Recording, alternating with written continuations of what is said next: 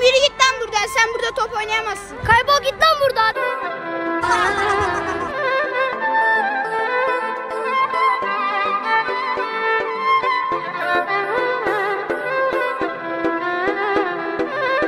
Oğlum hani sen bu sahaya gelmeyecektin lan ezik.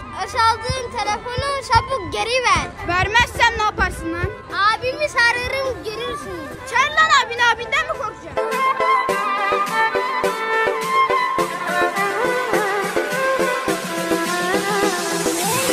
Çocuk telefon çaldığını söylüyor. Doğru mu bu? Çaldım sana ne bu seni ilgilendirmez. Çabuk o telefonu sahibine veriyorsun. Yoksa seni polise veririm. Ne polis mi? Bu telefonu çabuk çaldığın kişiye geri veriyorsun.